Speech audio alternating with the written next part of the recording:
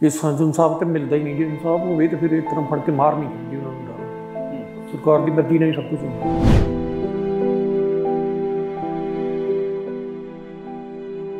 ਉਦੋਂ ਕਾਂਗਰਸ ਦੀ ਸਰਕਾਰ ਸੀ ਉਹਨਾਂ ਹੀ ਇਹ ਕਰਾਇਆ ਸੀ। ਤੇ ਮੈਨੂੰ ਹੁਣ ਪਤਾ ਲੱਗਾ ਵੀ ਉਹਨਾਂ ਨੇ ਉਸ ਡੇਟ 'ਚ ਜਦੋਂ ਇਨਕਾਊਂਟਰ ਹੋਇਆ ਤੇ ਮੈਨੂੰ ਇਹਨਾਂ ਨੇ ਕਿਸੇ ਕੇਸ 'ਚ ਮੇਰਾ ਨਾਮ ਪਾ ਕੇ ਬਾਅਦ 'ਚ ਚੁੱਪ ਚਪੀਤੇ ਹੀ ਦਾਲ ਤੋਂ ਵਾਰੰਟ ਲੈ ਕੇ ਇਸ਼ਤਿਹਾਰ ਲੈ ਗਏ ਤੇ ਬਿਲਕੁਲ ਸੀਕ੍ਰੀਟ ਤਰੀਕੇ ਨਾਲ ਮੈਨੂੰ ਉਹ 'ਚ ਭਗੌੜਾ ਤੇ ਪੀਓ ਇਹਨਾਂ ਬਣਾਇਆ। ਪੁਰਾਣੇ ਕੇਸ ਦੇ ਵਿੱਚ ਨਾਮ ਪਾ ਦਿੰਦੇ ਆ।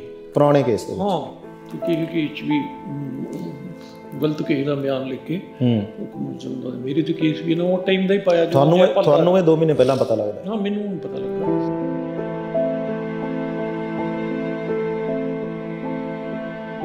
ਕਈ ਦਿਨ ਰਹੀ ਇੱਥੇ ਡੈੱਡ ਬੋਡੀ ਰਹੀ।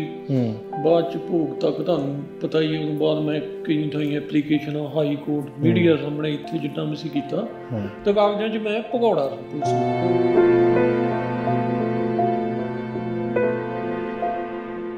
ਰੋਜ਼ ਆਣ ਕੇ ਦੱਸਦੇ ਸੀਗੇ ਸਰਦਾਰ ਹੁਣੀ ਵੀ ਮੁੰਡਾ ਆਇਆ ਭੁੱਲਰਾਂ ਦਾ ਤੇ ਬੜੀ ਮਿਹਨਤ ਕਰਦਾ ਤੇ ਬੜੀ ਮਿਹਨਤ ਨਾਲ ਗੋਲਾ ਸੁੱਟਦਾ ਵਾ ਉਹ ਘਰੋਂ ਹੀ ਅਫਸਰ ਬਣ ਕੇ ਜਾਊ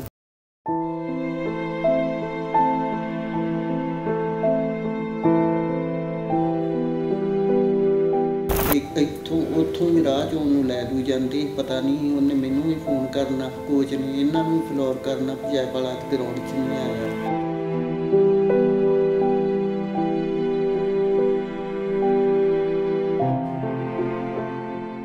ਹੈਪੀ ਜੋੜਾ ਤੇ ਪਿਓ ਦੀ ਪੱਗ ਲਾਈ ਸੀ। ਉੱਥੇ ਵੀ ਉਹਦੀ ਬੇਟੀ ਦੇ ਵਿਆਹ 'ਚ ਜੱਜ ਲੁਧਿਆਣੇ ਸੀ ਉਹ ਰਿਸ਼ਤੇਦਾਰ ਮੁੰਡੇ ਨੇ ਲਾਈ ਸੀ। ਸਿਰਫ ਉਹਦਾ ਬਦਲਾ ਲੈਣ ਲਈ ਉਹ ਇਹਨਾਂ ਨੂੰ ਨਾਲ ਹੈਪੀ ਜੋੜਾ ਲੈ ਗਿਆ।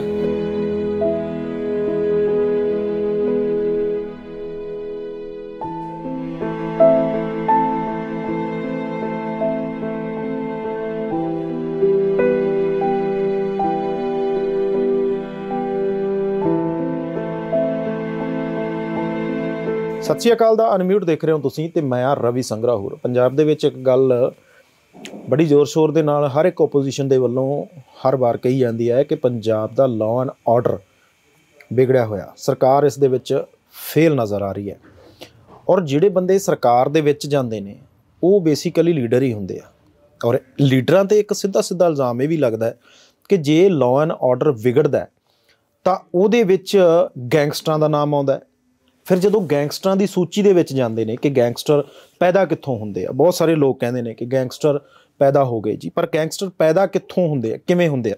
ਤਾਂ ਉਹਦੇ ਵਿੱਚ ਸਿੱਧੇ ਤੌਰ ਤੇ ਇੱਕ ਚੀਜ਼ ਸਾਹਮਣੇ ਆਉਂਦੀ ਹੈ ਕਿ ਗੈਂਗਸਟਰ ਲੀਡਰਾਂ ਦੇ ਵੱਲੋਂ ਹੀ ਪੈਦਾ ਕੀਤੇ ਜਾਂਦੇ ਆ। ਜਾਣੀ ਇਹ ਭੂਮਿਕਾ ਬੰਨਣ ਦਾ ਮੇਰਾ ਮਕਸਦ ਸਿਰਫ ਇੰਨਾ ਕਿ ਸੀ ਕਿ ਕਿ ਇਸ ਕੜੀ ਨੂੰ ਸਮਝਣ ਦੀ ਲੋੜ ਹੈ। ਉਹੀ ਲੀਡਰ ਸੱਤਾ ਤੇ ਇਲਜ਼ਾਮ ਲਾਉਂਦੇ ਆ ਕਿ ਲਾਅ ਐਂਡ ਆਰਡਰ ਵਿਗੜ ਗਿਆ, ਇੱਥੇ ਵਾਰਦਾਤ ਹੋ ਗਈ, ਉੱਥੇ ਵਾਰਦਾਤ ਹੋ ਗਈ, ਪਰ ਇਸ ਸਭ ਦੇ ਵਿਚਾਲੇ ਜਿਹੜੇ ਗੈਂਗਸਟਰ ਨੇ, ਉਹ ਬੇਸ਼ੱਕ ਅਪਰਾਧ ਦੀ ਦੁਨੀਆ ਦੇ ਵਿੱਚ ਚਲੇ ਜਾਂਦੇ ਆ। ਅਪਰਾਧ ਕਰਦੇ ਵੀ ਨੇ, ਕਾਨੂੰਨ ਦੀ ਨਜ਼ਰ ਦੇ ਵਿੱਚ ਛੋਟੇ ਤੋਂ ਵੱਡਾ ਅਪਰਾਧ ਅਪਰਾਧ ਹੀ ਹੈ। ਉਸ ਦਾ, ਉਸ ਦੀ ਹਰ ਇੱਕ ਅਪਰਾਧ ਦੀ ਕੋਈ ਨਾ ਕੋਈ ਸਜ਼ਾ ਹੈਗੀ ਆ। ਪਰ ਇਸ ਸਭ ਦੇ ਵਿਚਾਲੇ ਮਾਪੇ।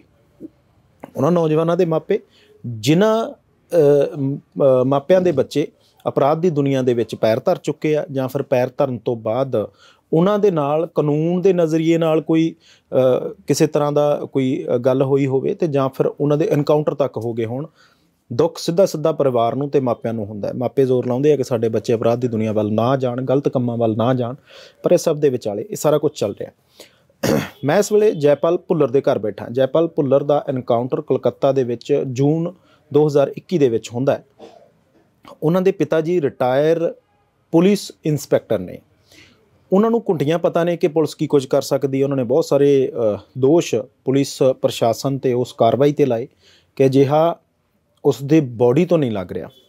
ਜਿਸ ਤਰ੍ਹਾਂ ਦੀ ਬਾਡੀ ਉਹਨਾਂ ਨੂੰ ਦਿੱਤੀ ਗਈ, ਉਹ ਕਹਿੰਦੇ ਇਉਂ ਨਹੀਂ ਲੱਗ ਰਿਹਾ ਕਿ ਐਨਕਾਊਂਟਰ ਮੌਕੇ ਤੇ ਹੋਇਆ। ਇਸ ਤੋਂ ਪਹਿਲਾਂ ਵੀ ਕੁਝ ਚੀਜ਼ਾਂ ਵਾਪਰ ਰਹੀਆਂ ਪਹਿਲਾਂ ਗ੍ਰਿਫਤਾਰ ਕੀਤਾ ਗਿਆ ਜੈਪਾਲ ਨੂੰ। ਉਸ ਤੋਂ ਬਾਅਦ ਉਹਦੇ ਤੇ ਬਹੁਤ ਸਾਰਾ ਕੁਝ ਹੋਇਆ। ਹੁਣ ਡੇਢ ਸਾਲ ਇਸ ਗੱਲ ਨੂੰ ਬੀਤ ਚੁੱਕਿਆ ਮੇਰੇ ਨਾਲ ਇਸ ਵੇਲੇ ਸਰਦਾਰ ਭੁਪਿੰਦਰ ਸਿੰਘ ਨੇ, ਜੈਪਾਲ ਭੁੱਲਰ ਦੇ ਪਿਤਾ ਜੀ। ਉਹਨਾਂ ਦੇ ਮਾਤਾ ਜੀ ਨੇ। ਕਿਉਂਕਿ ਇੱਕ ਵੱਡਾ ਇਲਜ਼ਾਮ ਸੀ ਕਈ ਦਿਨ ਤੱਕ লাশ ਨੂੰ ਘਰ ਰੱਖਣਾ ਪਿਆ ਕਿ ਸਾਨੂੰ ਇਨਸਾਫ ਦਿਓ ਸਾਨੂੰ ਪਤਾ ਲੱਗਣਾ ਚਾਹੀਦਾ ਹੈ ਕਿ ਆਖਰ ਹੋਇਆ ਕੀ ਸੀ। ਕੀ ਡੇਢ ਸਾਲ ਬੀਤ ਜਾਣ ਤੋਂ ਬਾਅਦ ਵੀ ਇਸ ਗੱਲ ਦਾ ਪਤਾ ਲੱਗ ਸਕਿਆ ਕਿ ਜੈਪਾਲ ਭੁੱਲਰ ਦੇ ਨਾਲ ਕੀ ਹੋਇਆ ਸੀ ਜਾਂ ਮਨ ਦੇ ਵਿੱਚ ਕੀ ਕੁਝ ਹੈ ਮਾਪਿਆਂ ਦੇ? ਅਸੀਂ ਗੱਲਬਾਤ ਦੇ ਜ਼ਰੀਏ ਉਹਨਾਂ ਨਾਲ ਇਹ ਸਾਰਾ ਕੁਝ ਜਾਣਨ ਦੀ ਕੋਸ਼ਿਸ਼ ਕਰਾਂਗੇ। ਸਤਿ ਸ਼੍ਰੀ ਅਕਾਲ ਜੀ। ਅੰਕਲ ਜੀ ਡੇਢ ਸਾਲ ਬਾਅਦ ਪਤਾ ਲੱਗਾ ਕਿ ਵਾਪਰਿਆ ਕੀ ਸੀ ਕੀ ਹੋਇਆ ਸੀ? ਹਾਲਾਂਕਿ ਮੌਕੇ ਤੇ ਤਾਂ ਤੁਹਾਡੇ ਵੱਲੋਂ ਪ੍ਰੋਟੈਸਟ ਦੇ ਤੌਰ ਤੇ ਜੈਪਾਲ ਦੀ ਬਾਡੀ ਰੱਖ ਕੇ ਪ੍ਰੋਟੈਸਟ ਕੀਤਾ ਗਿਆ ਕਿ ਨਹੀਂ ਅਸੀਂ ਅ, ਸੰਸਕਾਰ ਨਹੀਂ ਕਰਾਂਗੇ ਸਾਨੂੰ ਪਤਾ ਲੱਗਣਾ ਚਾਹੀਦਾ ਹੁਣ ਤਾਂ ਡੇਢ ਸਾਲ ਬੀਤ ਗਿਆ। ਕੁਝ ਸਮਝ ਆਈ ਕਹਾਣੀ ਦੀ?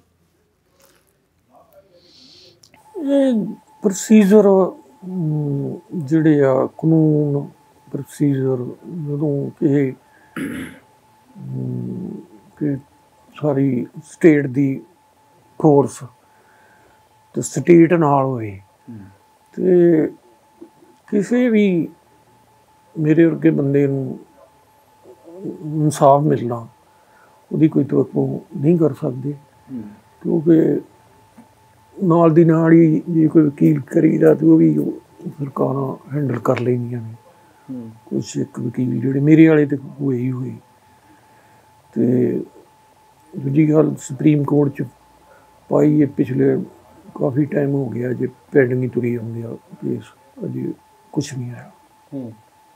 ਤੇ ਮੈਡੀਕਲ ਵੀ ਪੂਰਾ ਅਮ, ਨਹੀਂ ਸੀ ਹੋਇਆ ਮੈਂ ਫਾਰਮੈਲਿਟੀ ਕੀਤੀ ਸੀ। ਮੈਡੀਕਲ ਉਹਨਾਂ ਨੇ ਉਹ ਸੱਟਾਂ ਦਿੱਤੀਆਂ ਹੀ ਨਹੀਂ ਸੀ ਸਕੈਨ ਤੱਕ ਨਹੀਂ ਕੀਤਾ ਗਿਆ। ਤੇ ਵਕੀਲ ਵੀ ਨਾਲ ਰਲ ਗਏ। ਤੇ ਕੁਛ ਤੁਹਾਡੇ ਪੱਖ ਦੇ ਵਕੀਲ? ਹਾਂ। ਮੇਰਾ ਵਕੀਲ ਬਿਲਕੁਲ ਨਾਲ ਸੈੱਟ ਹੋ ਗਿਆ। ਤੇ ਉਹ ਸਕੈਨ ਨਹੀਂ ਕੀਤਾ ਗਿਆ। ਮੈਂ ਐਪਲੀਕੇਸ਼ਨ ਵੀ ਉੱਥੇ ਦਿੱਤੀ ਸੀ। ਡੀਜੀਪੀ ਦਾ ਗੁਪਤੇ ਦਾ ਰਿਸ਼ਤੇਦਾਰ ਸੀ ਜਿਹੜਾ ਹੈੱਡ ਸੀ ਪੀਜੀਆਈ ਦਾ। ਹਾਂ। ਤੇ ਉਹਨੇ ਇੰਜਰੀਆਂ ਨਹੀਂ ਦਿੱਤੀਆਂ। ਫਿਰ ਵੀ ਜੋ ਹੈ ਉੱਥੇ ਅਪੀਲ ਕੀਤੀ ਹੈ। ਲੰਮੇ ਕੋਟਾਂ ਦੇ ਕੰਮ ਹੁੰਦੇ ਆ। ਤੇ ਕੋਈ ਸਟੇਟ ਜਾਂ ਸੈਂਟਰ ਇਹਨਾਂ ਕੇਸਾਂ 'ਚ ਇਨਸਾਫ ਤੇ ਮਿਲਦਾ ਹੀ ਨਹੀਂ ਜੇ ਇਨਸਾਫ ਹੋਵੇ ਤਾਂ ਫਿਰ ਇਸ ਤਰ੍ਹਾਂ ਫੜ ਕੇ ਮਾਰ ਨਹੀਂ ਕਿਉਂ ਜੀ ਉਹਨਾਂ ਨੂੰ ਡਰ ਹੋਵੇ ਸਰਕਾਰ ਦੀ ਮਰਜ਼ੀ ਨਾਲ ਹੀ ਸਭ ਕੁਝ ਹੁੰਦਾ। ਆਪਾਂ ਇਨਕਾਊਂਟਰ ਤੋਂ ਪਹਿਲਾਂ ਦੀ ਚਰਚਾ ਕੁਝ ਕਰਾਂਗੇ ਪਰ ਉਸ ਤੋਂ ਬਾਅਦ ਡੇਢ ਸਾਲ ਲੰਘ ਗਿਆ। ਡੇਢ ਸਾਲ ਲੰਘਣ ਤੋਂ ਬਾਅਦ ਜਾਨੀ ਜਦੋਂ ਐਨਕਾਊਂਟਰ ਹੋ ਜਾਂਦਾ ਹੈ ਸੰਸਕਾਰ ਹੋ ਜਾਂਦਾ ਹੈ ਸਾਰੀਆਂ ਜਿਹੜੀਆਂ ਪ੍ਰਕਿਰਿਆਵਾਂ ਸੀ ਉਹ ਹੋ ਜਾਂਦੀਆਂ ਨੇ ਤਾਂ ਉਸ ਤੋਂ ਬਾਅਦ ਪੁਲਿਸ ਦੇ ਵੱਲੋਂ ਜਾਂ ਲੋਕਲ ਪ੍ਰਸ਼ਾਸਨ ਦੇ ਵੱਲੋਂ, ਸਰਕਾਰ ਦੇ ਵੱਲੋਂ, ਕਿਸੇ ਤਰ੍ਹਾਂ ਦੇ ਨਾਲ ਤੁਹਾਡੇ ਤੱਕ ਕਿਸੇ ਤਰ੍ਹਾਂ ਦੀ ਅਪਰੋਚ ਅਪਣਾਈ ਗਈ ਹੋਵੇ ਜਾਂ ਤੁਹਾਨੂੰ ਤੁਹਾਡੇ ਤੇ ਕੋਈ ਕਾਰਵਾਈ ਇੱਦਾਂ ਦੀ ਕੀਤੀ ਗਈ ਹੋਵੇ ਜਿਸ ਦੇ ਵਿੱਚ ਤੁਹਾਨੂੰ ਲੱਗਾ ਹੋਵੇ ਕਿ ਸਾਡਾ ਹੁਣ ਵੀ ਹਲੇ ਪਿੱਛਾ ਨਹੀਂ ਛੁੱਟਿਆ? ਉਦੋਂ ਕਾਂਗਰਸ ਦੀ ਸਰਕਾਰ ਸੀ ਉਹਨਾਂ ਹੀ ਇਹ ਕਰਾਇਆ ਸੀ। ਤੇ ਮੈਨੂੰ ਹੁਣ ਪਤਾ ਲੱਗਾ ਵੀ ਉਹਨਾਂ ਨੇ ਉਸ ਡੇਟ 'ਚ ਹੀ ਜਦੋਂ ਇਨਕਾਊਂਟਰ ਹੋਇਆ ਤੇ ਮੈਨੂੰ ਇਹਨਾਂ ਨੇ ਕਿਸੇ ਕੇਸ 'ਚ ਮੇਰਾ ਨਾਮ ਪਾ ਕੇ ਬਾਅਦ 'ਚ ਚੁੱਪ ਚਪੀਤੇ ਹੀ ਦਾਲ ਤੋਂ ਵਾਰੰਟ ਲੈ ਕੇ ਇਸ਼ਤਿਹਾਰ ਲੈ ਗਏ ਤੇ ਬਿਲਕੁਲ ਸੀਕ੍ਰੀਟ ਤਰੀਕੇ ਨਾਲ ਮੈਨੂੰ ਉਹ 'ਚ ਭਗੌੜਾ ਤੇ ਪੀਓ ਇਹਨਾਂ ਬਣਾਇਆ। ਉਹ ਪਿੱਛੇ 2 ਮਹੀਨੇ ਪਹਿਲਾਂ ਹੀ ਪਤਾ ਲੱਗਾ ਵੀ ਇਹ ਇਹੋ ਜੀ ਮਾਮਲਾ ਪਤਾ ਲੱਗਾ ਕਦੇ ਚ? ਹਾਂ ਲੁਧਿਆਣੇ ਦਾ ਕੋਈ ਕੇਸ ਆ ਤੇ ਉਹਦੀ ਬੇਲ ਲੱਗੀ ਸੀ ਕਿਸੇ ਦੀ ਤੇ ਉੱਥੇ ਇਹਨਾਂ ਨੇ ਕਿਹਾ ਵੀ ਅਸੀਂ ਇਹ ਜਿਹੜਾ ਭੁਪਿੰਦਰ ਸਿੰਘ ਆ ਇਹ ਭਗੌੜਾ ਪੀਓ ਆ। ਹਾਂ। ਮਾਮਲਾ ਦਰਜ ਕਰਕੇ ਭਗੌੜਾ ਤੱਕ ਵੀ ਦੇ ਦਿੱਤਾ ਗਿਆ ਤੁਹਾਨੂੰ ਨਹੀਂ ਕੀਤਾ ਪੁਰਾਣੇ ਕੇਸ ਦੇ ਵਿੱਚ ਨਾਮ ਪਾ ਦਿੰਦੇ ਆ। ਪੁਰਾਣੇ ਕੇਸ ਦੇ ਵਿੱਚ। ਹਾਂ ਕਿਸੇ ਕੇਸ 'ਚ ਵੀ ਗਲਤ ਕੇਸ ਦਾ ਬਿਆਨ ਲਿਖ ਕੇ ਹੂੰ। ਇੱਕ ਮੁਲਜ਼ਮ ਦਾ ਮੇਰੇ ਤੇ ਕੇਸ ਵੀ ਇਹਨਾਂ ਉਹ ਟਾਈਮ ਦਾ ਹੀ ਪਾਇਆ ਜਦੋਂ ਤੁਹਾਨੂੰ ਤੁਹਾਨੂੰ ਇਹ 2 ਮਹੀਨੇ ਪਹਿਲਾਂ ਪਤਾ ਲੱਗਦਾ ਹੈ। ਹਾਂ ਮੈਨੂੰ ਹੁਣ ਪਤਾ ਲੱਗਾ। ਉਸ ਟਾਈਮ ਹੀ ਜਦੋਂ ਮੈਂ ਪ੍ਰੋਟੈਸਟ ਕਰ ਰਿਹਾ ਹਾਂ ਉਦੋਂ ਹੀ ਪਾਇਆ ਤੇ ਪਾ ਕੇ ਬਿਲਕੁਲ ਗੁਪਤ ਰੱਖਿਆ। ਹੂੰ। ਹੁਣ ਮੇਰੇ ਬਰੂਹਾਂ ਅੱਗੇ ਪੁਲਿਸ ਕਈ ਦਿਨ ਰਹੀ ਇੱਥੇ ਡੈੱਡ ਬਾਡੀ ਰਹੀ। ਹੂੰ। ਬਾਅਦ ਚ ਭੋਗ ਤੱਕ ਤੁਹਾਨੂੰ ਪਤਾ ਹੀ ਹੈ ਉਦੋਂ ਬਾਅਦ ਮੈਂ ਕਈ ਥਾਈਂ ਐਪਲੀਕੇਸ਼ਨ ਹਾਈ ਕੋਰਟ ਮੀਡੀਆ ਸਾਹਮਣੇ ਇੱਥੇ ਜਿੱਦਾਂ ਮੈਂ ਸੀ ਕੀਤਾ। ਤਾਂ ਕਾਗਜ਼ਾਂ 'ਚ ਮੈਂ ਭਗੌੜਾ ਸਾਂ ਪੁਲਿਸ ਦਾ। ਹੂੰ। ਪੁਲਿਸ ਦੀ ਇੱਕ ਕਾਰਵਾਈ ਦੇਖ ਲਓ ਇਹ ਕਿਵੇਂ ਕਰਦੇ ਆ। ਹੂੰ। ਹੁਣ ਕਾਗਜ਼ਾਂ 'ਚ ਮੈਂ ਪੀਓ ਆ। ਹੂੰ। ਤੇ ਮੰਨ ਲਓ ਜੇ ਮੈਂ ਕੋਈ ਵੀ ਇਸ ਤਰ੍ਹਾਂ ਬਣਾਇਆ ਪੀਓ ਆ ਜਿਹੜਾ ਇੰਨੇ ਚਿਰ ਤੋਂ ਭਗੌੜਾ ਤੇ ਕੋਰਟ 'ਚ ਜੀ ਉਹ ਜਾਂਦਾ ਵੀ ਮੇਰੀ ਲਓ ਜੀ ਬੇਲ ਲੈ ਲਓ ਜੇ ਤੇ ਕਿਸੇ ਵੀ ਨਹੀਂ ਲੈਣੀ। ਇਹ ਇੱਕ ਤਰੀਕਾ ਬਣਾ ਲਿਆ ਕਿ ਤੁਸੀਂ ਹਾਂ ਤੁਸੀਂ ਮੂਵੀ ਨਾ। ਕਰ ਸਕੋ। ਹਾਂ ਵੀ ਕਿਸੇ ਵੀ ਨਹੀਂ ਲੈਣੀ ਨਾ ਕਿਸੇ ਲੋਅਰ ਕੋਰਟ ਨਾ high court even that supreme court ਨੇ ਵੀ ਕਹਿਣਾ ਜੀ ਇਹ ਪੀਯੂ ਹੈ ਜੀ ਭਗੌੜਾ। ਜਿਹੜੀ ਇਹ ਇੱਕ ਪੁਲਿਸ ਦਾ ਮੇਨ ਆ ਵੀ ਪੁਲਿਸ ਬਹੁਤ ਗਲਤ ਕੰਮ ਕਰਦੀ ਹੈ ਤੇ ਜਿਹਦੇ ਨਤੀਜੇ ਬਹੁਤ ਗਲਤ ਨਿਕਲਦੇ ਆ। ਤੁਸੀਂ ਆਪ ਸਿਸਟਮ ਦੇ। ਤੁਸੀਂ ਆਪ ਸਿਸਟਮ ਦੇ ਅੰਦਰ ਰਹੇ ਹੋ। ਮੈਂ ਤੁਹਾਨੂੰ ਇਸ ਕਰਕੇ ਕੇ ਦੇਖਿਆ ਵੀ ਪੁਲਿਸ ਦਾ ਅਫਸਰਾਂ ਦੇ ਕਹਿ ਤੇ ਜਾਂ ਉਤੋਂ ਕਿਹੋ ਜਿਹੇ ਅਫਸਰ ਨੇ? ਪੁਲਿਸ ਇਹ ਕਾਨੂੰਨ ਤੋੜਦੀ ਆ ਉਹਦੇ ਨਾਲ ਕ੍ਰਾਈਮ ਵੱਧਦਾ। ਹੁਣ ਅੰਗਰੇਜ਼ਾਂ ਦੇ ਟਾਈਮ ਜਿਹੜੇ ਪੁਲਿਸ ਅਫਸਰ ਸੀ ਵੱਡੇ ਉਹ ਸਾਰੇ ਅੰਗਰੇਜ਼ ਸੀ। ਤੇ ਸਰਕਾਰ ਵੀ ਤੇ ਵੇਖ ਲਓ ਵੀ ਇਹੋ ਹੀ ਪੰਜਾਬ ਪੁਲਿਸ ਜਿਹੜਾ ਬਿਲਕੁਲ ਪੰਜਾਬ ਸੁਖੀ ਵਸਦਾ ਸੀ। ਹੂੰ। ਕੋਈ ਲਾਅ ਐਂਡ ਆਰਡਰ ਦੀ ਪ੍ਰੋਬਲਮ ਨਹੀਂ ਸੀ। ਹੂੰ। ਤੇ ਕੁਝ ਦੇਖ ਲਓ ਵੀ ਹੁਣ ਆ ਭਗਤ ਸਿੰਘ ਵਰਗੇ ਬੰਦੇ ਜਿਨ੍ਹਾਂ ਨੇ ਇੱਕ ਐਸਪੀ ਨੂੰ ਗੋਲੀ ਮਾਰੀ ਜੋ ਵਿੱਚ ਆਉਂਦਾ। ਤੇ ਉਹਦਾ ਵੀ ਉਹਨਾਂ ਐਨਕਾਊਂਟਰ ਨਹੀਂ ਕੀਤਾ। ਹੂੰ। ਤੇ ਇੱਥੇ ਹੁਣ ਆਮ ਸੁਣਨੇ ਜੱਗਾ ਡਾਕੂ ਹੋਇਆ। ਹੂੰ। ਤੇ ਉਹ ਦੇਖ ਲਓ ਵੀ ਭਗੌੜਾ ਸੀ ਚਲੋ ਉਹਨੇ ਡਾਕੇ ਮਾਰੇ ਪੀਓ ਸੀ ਭਗੌੜਾ ਸੀ। ਤੇ ਉਹਨੂੰ ਉਹਦੇ ਰੋਟੀ ਬਣਾਉਣ ਵਾਲੇ ਨੇ ਉਹਨੂੰ ਜ਼ਹਿਰ ਦਿੱਤਾ। ਹੂੰ। ਤੇ ਜ਼ਹਿਰ ਦੇ ਕੇ ਤੇ ਬਾਅਦ ਚ ਉਹਨੂੰ ਗੋਲੀ ਮਾਰ ਦਿੱਤੀ। ਹੂੰ। ਉਹਨੇ ਇਨਾਮ ਲੈਣ ਲਈ। ਹੂੰ। ਉਹਦੇ ਇੱਕ ਸਾਥੀ ਨੇ ਜਿਹੜਾ ਨਾਲ ਉਹਦੀ ਖਾਣਾ ਖੁਣਾ ਬਣਾਉਂਦਾ ਸੀ। ਹੂੰ। ਤੇ ਅੰਗਰੇਜ਼ਾਂ ਨੇ ਉਹਦੇ ਖਿਲਾਫ ਮੁਕੱਦਮਾ ਦਰਜ ਕੀਤਾ। ਹੂੰ। ਤੇ ਉਹ ਬੰਦਾ ਜੇਲ੍ਹ 'ਚ ਮਰਿਆ। ਵੀ ਤੂੰ ਉਹਨੂੰ ਫੜਾ ਤੇ ਸਕਦਾ ਸੀ। ਹੂੰ। ਪਰ ਤੈਨੂੰ ਉਹਨੂੰ ਜਾਨ ਲੈਣ ਦਾ ਕੋਈ ਹੱਕ ਨਹੀਂ ਸੀ। ਹੂੰ। ਤੇ ਇਹ ਪੰਜਾਬ ਪੁਲਿਸ ਜੋ ਅੰਗਰੇਜ਼ ਚਲੇ ਗਏ ਤੇ ਇਹ ਜਿਹੜੇ ਸਾਡੇ ਸਿਆਸਤਦਾਨ ਸੀ ਇਹਨਾਂ ਨੇ ਬੜਾ ਵੱਡਾ ਕਪਲਾ ਕਰਕੇ ਤੇ ਪੰਜਾਬ 'ਚ ਤੇ ਵੱਡ ਫੱਟ ਕਰਾਈ ਸੀ ਉਦੋਂ ਬਾਅਦ ਇਹ ਪੁਲਿਸ ਕੋ ਨਾ ਗਲਤ ਕੰਮ ਕਰਾਉਣ ਲੱਗ ਪਏ ਤੇ ਅਫਸਰ ਥੱਲੇ ਲਾ ਕੇ ਕਰਨ ਲੱਗ ਪਏ ਪੈਸੇ ਦੇ ਲਾਲਚ 'ਚ ਉਹ ਕੰਮ ਚੱਲੀ ਆਇਆ ਉਹਦੇ ਪੁਲਿਸ ਦੀਆਂ ਜਾਤੀਆਂ ਕਰਕੇ ਹੀ 84 ਵਰਗੇ ਕਿਹੜੇ ਕਿਹੜੇ ਵੱਡੇ ਕਾਂਡ ਹੋਏ। ਹੂੰ। ਤੇ ਉਹਨਾਂ ਦਾ ਹੱਥ ਹੈ ਹੁਣ ਆ ਜਿਹੜੀ ਸਰਕਾਰ ਹੈ ਇਹ ਤੇ ਨਵੀਂ ਬਣੀ ਆ ਹੂੰ। ਨਵੇਂ ਬੰਦੇ ਆ ਅਜੇ ਤੱਕ ਇਹਨਾਂ ਕੋਈ ਗਲਤ ਨਹੀਂ ਕੀਤਾ। ਤੇ ਮੈਂ ਤੇ ਇਹਨਾਂ ਅੱਗੇ ਦਰਖਾਸਤ ਹੀ ਕਰ ਸਕਦਾ। ਹੂੰ। ਵੀ ਜਿਸ ਤਰ੍ਹਾਂ ਤਗੜੇ ਹੋ ਕੇ ਕਰਪਸ਼ਨ ਦੇ ਮੁੱਦਿਆਂ ਤੇ ਸਟੈਂਡ ਲਿਆ ਤੇ ਮੇਨ ਜਿਹੜੇ ਹੈੱਡ ਨੇ ਆਈਐਸ ਅਫਸਰ ਉਹਨਾਂ ਨੂੰ ਕੀਤਾ ਤੇ ਇਹ ਸਰਕਾਰ ਜਿਹੜੀ ਆ ਬਿਲਕੁਲ ਸ਼ਾਬਾਸ਼ ਦੀ ਹੱਕਦਾਰ ਆ ਤੇ ਸਾਰੀ ਜਨਤਾ ਇਹਨਾਂ ਕੰਮਾਂ 'ਚ ਇਹਨਾਂ ਦੀ ਨਾਲ ਆ। ਭਗਵੰਤ ਮਾਨ ਨੂੰ ਤਗੜੇ ਹੋਣਾ ਚਾਹੀਦਾ। ਬਿਲਕੁਲ ਦਲੇਰੀ ਨਾਲ ਕੰਮ ਕਰਨਾ ਚਾਹੀਦਾ ਜਿੰਨਾ ਚਿਰ ਇਹਨੇ ਮੁੱਖ ਮੰਤਰੀ ਜੇ ਦਲੇਰੀ ਨਾਲ ਜਾਂ ਇਨਸਾਫ ਤੇ ਅੜੂਗਾ ਤੇ ਇਹਦੀ ਵਾਲ ਵਿੰਗਾ ਨਹੀਂ ਹੋ ਸਕਦਾ ਡਰਨਾ ਨਹੀਂ ਚਾਹੀਦਾ ਵੀ ਇਹਨੂੰ ਲਾ ਕੇ ਕੋਈ ਹੋਰ ਬਣ ਜੂ। ਇਹਨੂੰ ਦਲੇਰੀ ਨਾਲ ਐਕਸ਼ਨ ਲੈਣਾ ਚਾਹੀਦਾ ਤੇ ਇਹਨੇ ਲਿਆ। ਤੇ ਮੈਂ ਬੱਚਿਆਂ ਨੂੰ ਅਪੀਲ ਕਰਦਾ ਵੀ ਕੋਈ ਵੀ ਮੁੰਡਾ ਕ੍ਰਾਈਮ ਹੀ ਨਾ ਕਰੇ ਜੇ ਕੋਈ ਹੋ ਜਾਂਦਾ ਤੇ ਉਹ ਭਗੌੜਾ ਨਾ ਹੋਵੇ ਅੱਗੇ ਵੀ ਇੰਟਰਵਿਊ 'ਚ ਆਪਣੇ ਸਾਡੇ ਡੀਐਸਪੀ ਸਾਹਿਬ ਨੇ ਹੂੰ। ਉਹਨਾਂ ਵੀ ਆਪਣਾ ਨੰਬਰ ਦਿੱਤਾ। ਹੂੰ। ਮੇਰੇ ਦੋਸਤ ਨੇ ਬਲਵਿੰਦਰ ਸਿੰਘ ਸੀ ਹੂੰ। ਤੁਸੀਂ ਜਾਣਦੇ ਹੀ। ਤੁਹਾਡੇ ਕੋਲ ਹੀ ਬੈਠੇ ਹੂੰ। ਤੇ ਮੈਂ ਵੀ ਹਾਂ ਹੋਰ ਵੀ ਵੀ ਕੋਈ ਕਿਸੇ ਤੇ ਪੈ ਜਾਂਦਾ ਤੇ ਉਹ ਸੰਪਰਕ ਕਰ। ਹੂੰ। ਤੇ ਇਸ ਇਸ ਗੇਮ ਨੂੰ ਖਤਮ ਕੀਤਾ ਜਾਏ। ਆਪਾਂ ਚਾਹੁੰਦੇ ਵੀ ਜਿਹੜੀ ਮਾਰਾਮਾਰੀ ਹੈ ਉਹ ਬੰਦ ਕੀਤੀ ਜਾਏ। ਇਹਦੀ ਸ਼ੁਰੂਆਤ ਤਾਂ ਕਿਤੋਂ ਹੁੰਦੀ ਹੈ ਨਾਲ ਬੈਠੇ ਨੇ ਬੜੇ ਚਿਰਾਂ ਤੋਂ ਦੇਖੋ ਜੀ ਸਰਕਾਰਾਂ ਜੋ 47 ਤੋਂ ਬਾਅਦ ਨਾ ਇੱਕ 5 ਸਾਲ ਕਾਂਗਰਸ ਦੀ ਬਣ ਗਈ ਫਿਰ ਕਾਲੀਆਂ ਦੀ ਬਣ ਗਈ ਤੇ ਕਾਲੀਆਂ 'ਚ ਇੱਕ ਪਰਿਵਾਰ ਨੇ ਕਬਜ਼ਾ ਕਰ ਲਿਆ। ਕਾਲੀ ਪਾਰਟੀ ਦੀ ਕਾਲੀ ਪਾਰਟੀ ਮਾੜੀ ਨਹੀਂ ਸੀ ਪਰ ਇੱਕ ਬਾਦਲ ਪਰਿਵਾਰ ਨੇ ਉੱਤੇ ਕਬਜ਼ਾ ਕਰ ਲਿਆ।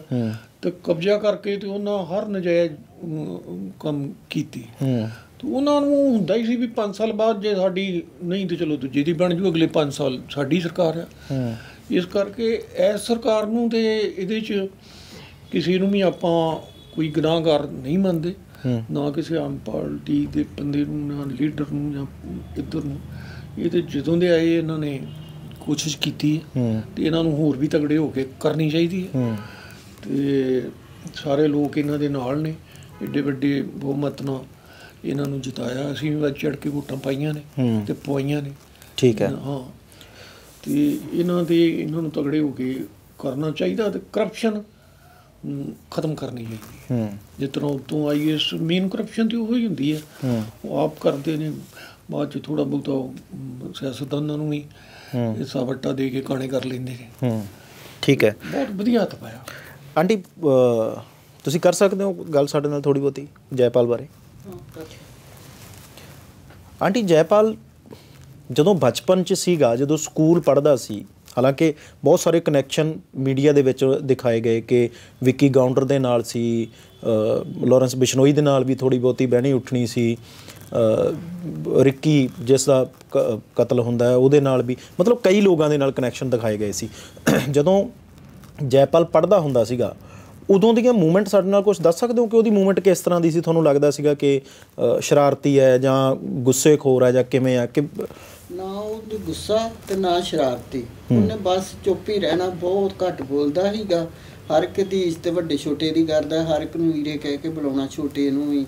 ਪੜ੍ਹਾਈ 'ਚ ਵੀ ਵਧੀਆ ਸੀਗਾ। ਹੂੰ। ਕਿਤੇ ਉਹਨੂੰ ਆਉਣ ਜਾਣ ਦਾ ਸ਼ੌਂਕ ਨਹੀਂ ਕਿਤੇ ਨਹੀਂ ਹੋ ਜਾਂਦਾ ਕਿਸੇ ਰਿਸ਼ਤੇਦਾਰ ਦੇ ਵੀ ਆਪਣਾ ਇੱਥੇ ਮਸਤ ਰਹਿੰਦਾ ਸੀ। ਕੋਈ ਨਹੀਂ ਉਹਨੂੰ ਕੋਈ ਵੀ ਕਹਿ ਸਕਦਾ ਸਾਰੇ ਉਹਦੀ ਤਾਰੀਫ ਕਰਦੇ ਸੀ ਕਿ ਜੈਪਾਲ ਘੱਟ ਵੀ ਬਾਹਰ ਵੀ ਘੱਟ ਹੀ ਤੇ ਘਰੇ ਇੱਥੇ ਅੱਜ ਵੀ ਕਰਦੇ ਗਰਾਊਂਡ 'ਚ ਖੇਡਦੇ ਰਹਿਣਾ ਆਪਣਾ, ਤਿੰਨਾਂ ਭੈਣ ਭਰਾਵਾਂ ਨੇ, ਕੋਈ ਇਹੋ ਜੀ ਗੱਲ ਹੀ ਨਹੀਂ, ਕਿਤੇ ਸੋਚਿਆ ਵੀ ਨਹੀਂ ਕਿ ਪੜ੍ਹਾਈ 'ਚ ਵੀ ਬੜਾ ਹੁਸ਼ਿਆਰ ਸੀ।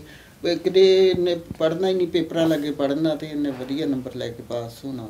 ਫਿਰ ਇਹਨੂੰ ਗੇਮਾਂ ਦਾ ਬੜਾ ਸ਼ੌਂਕ ਸੀ ਵੀ ਮੈਂ ਇਕੱਲੇ ਵਾਲੀ ਗੇਮ 'ਚ ਇੱਥੇ ਐਚਐਮ ਸਕੂਲ ਪੜ੍ਹਦਾ ਸੀਗਾ ਤੇ ਉੱਥੇ ਕਬੱਡੀ ਖੇਡਦਾ ਸੀਗਾ। ਉੱਥੋਂ ਮੁੜ ਕੇ ਬਾਅਦ ਚ ਇਹਨੇ ਜਦੋਂ ਪਲੱਸ 2 ਕੀਤੀ ਤੇ ਉਸ ਤੋਂ ਬਾਅਦ ਫਿਰ ਇਹ ਗੋਲਾ ਆਂਦਾ ਵੀ ਮੈਂ ਗੋਲਾ ਸੁੱਟਣਾ। ਉਹ ਕੋਚ ਵੀ ਬਹੁਤ ਚੰਗੇ ਉਹ ਵੀ ਭੁੱਲਰ ਸੀਗੇ ਬਹੁਤ ਚੰਗਾ ਬਹੁਤ ਪਿਆਰ ਕਰਦੇ ਸੀਗੇ। ਇਹ ਫਿਰ ਇੰਨੀ ਇਹਨੇ ਮਿਹਨਤ ਕੀਤੀ ਇੰਨੀ ਇਹਨੂੰ ਖੁਰਾਕ ਦਿੱਤੀ ਬਹੁਤ ਜ਼ਿਆਦਾ। ਮੱਝ ਅਸੀਂ ਸ਼ੁਰੂ ਤੋਂ ਹੀ ਰੱਖਦੇ ਘਰ ਦਾ ਹੀ ਸਾਡਾ ਦੁੱਧ ਹੁੰਦਾ ਸੀ। ਇਹਨਾਂ ਕਹਿਣਾ ਵੀ ਇੱਕ ਟਾਈਮ ਦਾ ਮਾਂ ਨੂੰ ਦੇ ਦਿਆ ਕਰ ਤੇ ਇੱਕ ਟਾਈਮ ਦਾ ਤੂੰ ਪੀ ਜਿਆ ਕਰ ਸਾਰਾ ਹੀ। ਤੇ ਇੰਨੀ ਖੁਰਾਕ ਦਿੱਤੀ ਤੇ ਇੰਨਾ ਵਧੀਆ ਗੋਲੇ ਚ ਦਿਨੋਂ ਦਿਨ ਇਹਦਾ ਗੋਲਾ ਅੱਗੇ ਵੀ ਵੱਧਦਾ ਜਾਂਦਾ ਫਿਰ ਉਹਨਾਂ ਸਾਨੂੰ ਘਰ ਬੁਲਾਇਆ ਇਹਨਾਂ ਨੂੰ। ਉਹ ਸੌ ਘਬਰਾਇਆ ਵੀ ਮੇਰੇ ਕੋਲ ਸ਼ਿਕਾਇ- ਸ਼ਿਕਾਇਤ ਕੋਈ ਲਾਉਣੀ ਆ। ਉਹਨਾਂ ਨੂੰ ਮੰਮੀ ਪਾਪਾ ਨੂੰ ਲੈ ਕੇ ਆਏ। ਫਿਰ ਅਸੀਂ ਗਏ ਉਹਨਾਂ ਬੜੀ ਇਹਦੀ ਤਾਰੀਫ ਕੀਤੀ। ਜਾਂਦੇ ਆ ਵੀ ਅਸੀਂ ਉਹ ਭੈਣ ਜੀ ਕਹਿੰਦੇ ਮੈਨੂੰ ਰੋਜ਼ ਆਣ ਕੇ ਦੱਸਦੇ ਸੀਗੇ ਸਰਦਾਰ ਹੁਣੀ ਵੀ ਮੁੰਡਾ ਆਇਆ ਭੁੱਲਰਾਂ ਦਾ ਤੇ ਬੜੀ ਮਿਹਨਤ ਕਰਦਾ ਤੇ ਬੜੀ ਮਿਹਨਤ ਨਾਲ ਗੋਲਾ ਸੁੱਟਦਾ ਵਾ। ਉਹ ਘਰੋਂ ਹੀ ਅਫਸਰ ਬਣ ਕੇ ਜਾਊਗਾ। ਪਰ ਸੰਗਤ ਮਾੜੀ ਮਿਲ ਗਈ ਤੇ ਸੰਗਤ ਮਾੜੀ ਕਰਕੇ ਹੀ ਮੇਰਾ ਪੁੱਤ ਇਹ ਪਾਸੇ ਫਲੋਰ ਚਲੇ ਗਏ। ਕੋਰਸ ਕਰਨ ਮੈਂ ਇਕੱਲੀ ਹਾਂ ਘਰ 'ਚ ਤੇ ਇੱਥੋਂ, ਉੱਥੋਂ ਹੀ ਰਾਹ 'ਚ ਉਹਨੂੰ ਲੈ ਲੂ ਜਾਂਦੀ। ਪਤਾ ਨਹੀਂ ਉਹਨੇ ਮੈਨੂੰ ਵੀ ਫੋਨ ਕਰਨਾ, ਕੋਚ ਨੇ ਇਹਨਾਂ ਨੂੰ ਵੀ ਫਲੋਰ ਕਰਨਾ ਵੀ ਗਰਾਊਂਡ 'ਚ ਨਹੀਂ ਆਇਆ।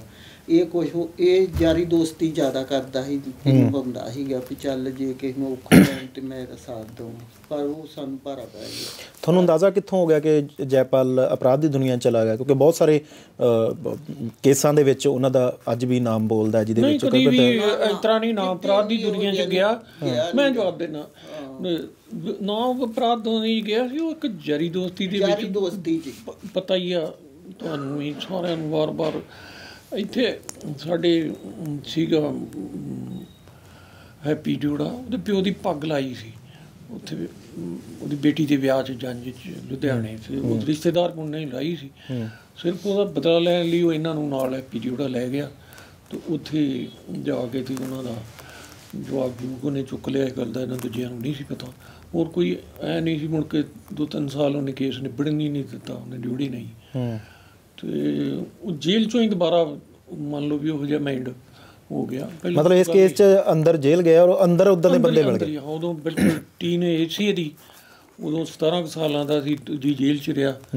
ਤੇ ਦੋ ਤਿੰਨ ਸਾਲ ਤਿੰਨ ਸਾਲ ਬਾਅਦ ਜ਼ਮਾਨਤ ਹੋਈ ਤੇ ਉਹਦੇ ਵਿੱਚ ਵਿੱਚ ਫਿਰ ਜਦੋਂ ਆਇਆ ਤੇ ਉਦੋਂ ਜੀ ਮੈਂ ਧਿਆਨ ਰੱਖਦਾ ਸਾਂ।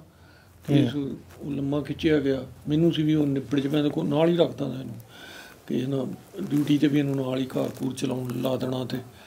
ਅੱਛਾ ਨਾਲ ਰੱਖਦੇ ਸੀ। ਨਾਲ ਰੱਖਦਾ ਜਿੱਥੇ ਜਿੰਨੀ ਕੋਸ਼ਿਸ਼ ਹੋ ਸਕਦੀ ਸੀ। ਪੂਰੀ ਤੇ ਸਿਰਫ ਇਹ ਸੀ ਵੀ ਇਹ ਮੈਨੂੰ ਕਹਿੰਦਾ ਸੀ ਵੀ ਤੁਸੀਂ ਮੈਨੂੰ ਭੇਜ ਦਿਓ ਬਾਹਰ। ਜਣੀ ਇਹ ਤੇ ਉਹਨੂੰ ਦੱਸ ਹੀ ਦਿੱਤਾ ਵੀ ਹੁਣ ਇੱਥੇ ਤੈਨੂੰ ਰਹਿਣ ਨਹੀਂ ਦੇਣਾ ਨਾ ਕਿ ਹਜ਼ਾਰ ਬੇਲੀ ਤੂੰ ਮਿਲ ਦੇਣਾ ਜਾਂ ਕੁਝ ਵੀ ਤੇ ਉਹ ਮੈਂ ਆਖਿਆ ਵੀ ਉਹ ਕੇਸ ਨਿਬੜ ਜੇ ਤੂੰ 3 ਸਾਲ ਕੱਟੀ ਹੈ ਉਹ 'ਚ ਕੀ ਹੋਣਾ। ਤੇ ਮੇਰਾ ਇਸੇ ਤਰ੍ਹਾਂ ਦੁਬਾਰਾ ਐਕਸੀਡੈਂਟ ਮੇਰਾ ਹੋ ਗਿਆ। ਹੂੰ। ਮੈਂ ਮੰਜੀ ਪੁੰਜੀ ਤੇ ਬਹਿ ਗਿਆ ਫਿਰ ਭਗੌੜਾ ਹੋ ਗਿਆ। ਹੋਰ ਮਾਮਲਿਆਂ ਦੇ ਵਿੱਚ ਇਨਵੋਲਵ ਹਾਂ ਫਿਰ ਉਦੋਂ ਬਾਅਦ ਅਦਰਵਾਈ ਨਹੀਂ ਮਿਲਾ ਕੋਈ। ਉਹ ਇੱਕ ਕੇਸ ਉੱਚੀ ਸੀ ਤੁਹਾਨੂੰ ਉਦੋਂ ਪਤਾ ਲੱਗ ਗਿਆ ਸੀ ਵੀ ਹੁਣ ਜੈਪਾਲ ਦਾ ਮੁੜਨਾ ਮੁਸ਼ਕਲ ਹੈ ਨਹੀਂ ਨਹੀਂ ਮੁੜ ਆਇਆ ਸੀ। ਮਤਲਬ ਜਿਸ ਜਿਸ ਜਿਸ ਦੁਨੀਆ ਵੱਲ ਚਲਾ ਗਿਆ ਸੀ। ਜਿਸ ਦੁਨੀਆ ਤੋਂ ਤੇ ਬਾਅਦ ਚ ਵੀ ਆਇਆ ਪੇਸ਼ੀ ਦੀ ਵੀ ਗੱਲ ਹੋ ਗਈ ਸੀ ਮੈਂ ਰੋੜਾ ਸਾਹਿਬ ਨੂੰ ਮਿਲਿਆ ਸਾਂ। ਤੇ ਜਦੋਂ ਮੈਂ ਮਿਲ ਕੇ ਉਹਨਾਂ ਨੂੰ ਆਇਆ ਤੇ ਉਹਨਾਂ ਨੂੰ ਮੈਂ ਕਿਹਾ ਜੀ ਜਿਹੜੇ ਜੈ ਕੇਸ ਉੱਤੇ ਹੈਗੇ ਨੇ ਉਹ ਤਾਂ ਕੇਸ ਮੈਂ ਨਹੀਂ ਕਹਿੰਦਾ ਵੀ ਆਪਣੇ ਉਹ ਪਾਵੋ ਤੇ ਪਾਈ ਗਏ ਤੁਸੀਂ। ਜਿਹੜੇ ਬਿਲਕੁਲ ਨਜਾਇਜ਼ ਤੁਸੀਂ ਕੇਸ ਪਾਏ ਆ ਜਿਸ ਤਰ੍ਹਾਂ ਉਹ ਮੁੰਡਾ ਸੀ ਸੁੱਖਾ ਕਾਲਵਾ ਹਾਂ। ਉਹ ਬਾਅਦ ਚ ਬਿਲਕੁਲ ਨਹੀਂ ਸੀ ਨਾ ਉਹਨੂੰ ਪਤਾ ਤੇ ਇੱਥੇ ਪਾਤਾ ਸੀ। ਹੂੰ। ਤੇ ਪੋਲੀਟੀਕਲ ਬੰਦਿਆਂ ਦੇ ਕਹਿਣ ਤੇ ਇਸ ਤਰ੍ਹਾਂ ਹੀ ਹੋਰ ਕੇਸ ਸੀ ਉਹਨੂੰ ਡੀਜੀਪੀ ਨੂੰ ਵੀ ਪਤਾ ਸੀ। ਹੂੰ। ਤੇ ਉਹਨਾਂ ਜਿਹਨੂੰ ਕੱਢ ਦਿਓ। ਹੂੰ। ਵੀ ਜੇ ਪੇਸ਼ ਹੁੰਦਾ ਕਰਦੀ ਆਂ ਕੋਸ਼ਿਸ਼ ਤੇ ਕੱਢ ਦਿਓ ਉਹਨਾਂ ਕਹੇ ਠੀਕ ਆ। ਹੂੰ। ਜਿਹੜੇ ਨਜਾਇਜ਼ ਮੈਨੂੰ ਪਤਾ ਹੀ ਵੀ ਪਾਏ ਆ। ਹੂੰ। ਤੇ ਉਹ ਦੋ ਤਿੰਨ ਦਿਨ ਬਾਅਦ ਸਾਨੂੰ ਫੜ ਕੇ ਸਾਡੇ ਤੇ ਪਰਚਾ ਇਹਨਾਂ ਦੇ ਦਿੱਤਾ ਉਹ ਰਿਸ਼ਤੇਦਾਰਾਂ ਦੇ ਦਿੱਤਾ। ਫੈਮਿਲੀ ਤੇ? ਤੁਹਾਡੇ ਤੇ ਆਂਟੀ ਤੇ? ਜਦੋਂ ਉਹਨੂੰ ਪੇਸ਼ ਕਰਨਾ ਹੀ ਤੇ ਸਾਡੇ ਤੇ ਖੜ ਕੇ ਤੇ ਸਾਡੇ ਤੇ ਪਨਾਹ ਦਾ ਪਰਚਾ ਉਹਦਾ ਦੇ ਦਿੱਤਾ ਵੀ ਇਹ ਜੈਪਾਲ ਨੂੰ ਪੈਸੇ ਦਿੰਦੇ ਆ ਉਹਦੇ ਰਹਿਣ ਦਾ ਪ੍ਰਬੰਧ ਕਰਦੇ ਆ ਇਹੋ ਜਿਹਾ ਬਣਾ ਕੇ ਤੇ ਦੇ ਦਿੱਤਾ। ਉਹਦੇ ਤੇ ਹੁਣ ਪਿੱਛੇ 2 ਮਹੀਨੇ ਹੋਏ ਬਰੀ ਹੋਏ ਤੇ ਉਹ ਕੀ ਪੋਲੀਟੀਕਲ ਬੰਦੇ ਦੀ ਚਾਲ ਸੀ ਵੀ ਉਹਨੂੰ ਉਹ ਗੱਲ ਦਾ ਪਤਾ ਲੱਗ ਗਿਆ ਵੀ ਇਹ ਪੇਸ਼ ਹੋ ਸਕਦਾ।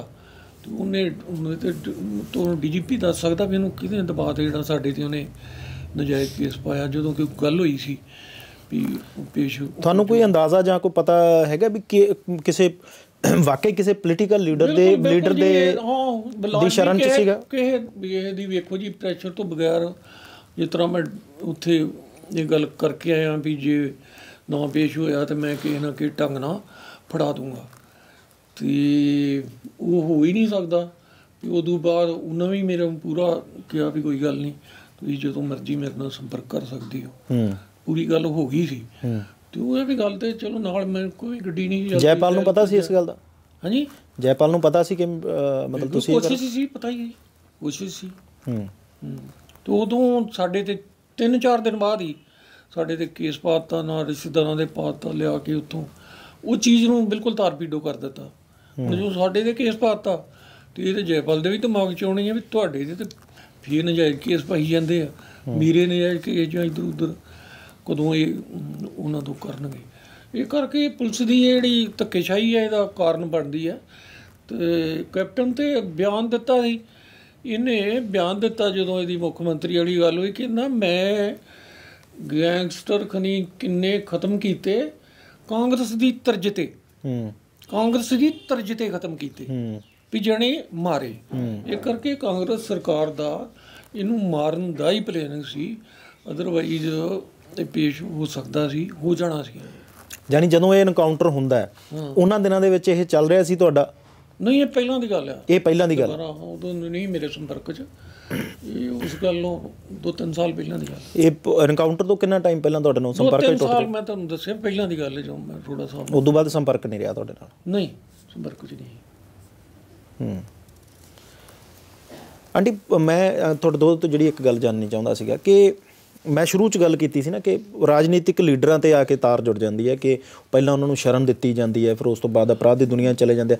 ਤੁਹਾਨੂੰ ਕੁਝ ਅੰਦਾਜ਼ਾ ਹੈ ਕਿ ਕਿਸੇ ਲੀਡਰ ਦੇ ਸੰਪਰਕ ਦੇ ਵਿੱਚ ਪਹਿਲਾਂ ਸੀ ਜੈਪਾਲ ਭੁੱਲਰ ਮੈਂ ਕਿਸੇ ਦਾ ਵੀ ਨਾਂ ਤਾਂ ਨਹੀਂ ਲਵਾਂਗਾ ਪਰ 100% ਕਾਂਗਰਸ ਦੇ ਲੀਡਰ ਤੇ ਅਕਾਲੀ ਦਲ ਦੇ। ਇਹਨਾਂ ਪੰਜਾਬ ਦਾ ਪੱਠਾ ਪਾਇਆ। ਹੁਣ ਸਰਕਾਰ ਬਦਲੀ ਆ ਤੇ ਲੋਕਾਂ ਨੂੰ ਬੜੀ ਆਸ ਆ ਤੇ ਇਹ ਵੀ ਆਸ ਆ ਕਿ ਇਸ ਚੀਜ਼ ਦਾ ਕੋਈ ਨਾ ਕੋਈ ਰਾਤ ਮਿਲੇਗੀ ਵੀ ਅੱਗੇ ਤੋਂ ਮੁੰਡੇ ਭਗੌੜੇ ਨਾ ਹੋਣ ਹੂੰ। ਤੇ ਨਾ ਹੀ ਇਨਕਾਊਂਟਰ ਕੀਤੇ ਜਾਣ ਤੇ ਕ੍ਰਾਈਮ ਰੁਕੇ। ਸਰਕਾਰ ਹੁਣ ਤੱਕ ਜਿੰਨਾ ਇਹਨਾਂ ਦਾ ਕੰਮ ਬਹੁਤ ਵਧੀਆ। ਹੂੰ। ਹਾਂ। ਹੁਣ ਤੁਹਾਡੇ ਤੇ ਜਿੰਨੇ ਕੁ ਮਤਲਬ ਤੁਹਾਡੇ ਮੁਤਾਬਕ ਜਿਹੜੇ ਝੂਠੇ ਕੇਸ ਪਾਏ ਗਏ ਸੀ ਤੁਸੀਂ ਉਹਦੇ ਵਿੱਚੋਂ ਨਿਕਲ ਚੁੱਕੇ ਹੋ ਬਰੀ ਹੋ ਚੁੱਕੇ ਹੋ? ਨਹੀਂ ਜਿੰਨੇ ਨਹੀਂ ਇੱਕ ਕੇਸ ਤੁਹਾਨੂੰ ਦੱਸਿਆ ਵੀ ਲੁਧਿਆਣੇ ਇਹਨਾਂ ਪਾਇਆ। ਉਹ ਤੁਹਾਡੇ ਤੇ ਸਿਹਤ ਠੀਕ ਨਹੀਂ ਹਾਂ। ਤੇ ਮੇਰੀ ਸਿਹਤ ਠੀਕ ਨਹੀਂ ਸੀ ਮੈਂ ਅਜੇ ਤੱਕ ਨਾ ਕਿ ਇਹਨੂੰ ਮਿਲਿਆ। ਹੂੰ। ਤੇ ਨਾ ਕਿਤੇ ਗਿਆ ਹੀ ਆ ਦੋ ਕੁ ਮਹੀਨੇ ਹੋਏ ਮੈਨੂੰ ਪਤਾ ਲੱਗਾ। ਹੂੰ। ਉਹਦੇ ਚੋਂ ਇਹ ਕੱਢਣਾ ਚਾਹਣ ਤੇ ਕੱਢ ਸਕਦੇ ਉਹ ਤੇ ਉਦੋਂ ਕਾਂਗਰਸ ਸਰਕਾਰ ਵੇਲੇ ਪਾਇਆ ਇਹਨਾਂ ਨਹੀਂ ਪਾਇਆ।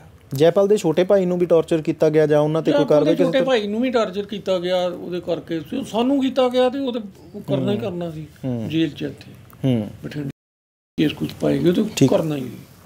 ਕਿਉਂਕਿ ਆਖਰ ਤੇ ਅੰਕਲ ਜੀ ਕਿਉਂਕਿ ਚੱਲ ਹੀ ਰਿਹਾ ਸਿਸਟਮ ਹਾਲੇ ਵੀ ਜਾਨੀ ਜਿਵੇਂ ਗੈਂਗਸਟਰ ਵਾਦ ਹੈਗਾ ਉਹ ਹਾਲੇ ਵੀ ਹੈ ਜਾਨੀ ਮੁੰਡੇ ਅਪਰਾਧ ਦੀ ਦੁਨੀਆ 'ਚ ਤਾਂ ਹੈਗੇ ਹੀ ਨੇ ਆਪਣੇ ਪੰਜਾਬ ਦੇ ਹੀ ਮੁੰਡੇ ਆ ਮਾਪਿਆਂ ਦੇ ਪੁੱਤਰ ਨੇ ਕੀ ਕਹਿਣਾ ਚਾਹੋਗੇ? ਮੁੰਡਿਆਂ ਨੂੰ ਅਪੀਲ ਕਰਦਾ ਬਿਲਕੁਲ ਹੱਥ ਜੋੜ ਕੇ ਕਰਦਾ ਵੀ ਇਹ ਫੁਕਰਾ ਪੰਥੀ ਛੱਡ ਦੇਣ ਬਿਲਕੁਲ ਮਾਰਾ ਮੋਰੀ ਆਪਸੀ ਇੱਕ ਦੂਜੇ ਨੂੰ ਮਾਰਨਾ ਛੱਡ ਦੇਣ। ਕਿਸੇ ਨੂੰ ਵੀ ਮਾਰਨਾ ਛੱਡ ਦੇਣ ਮੀਨ ਦੈਟ ਹੈਵ ਕ੍ਰਾਈਮ ਛੱਡ ਦੇਣ। ਹਾਂ।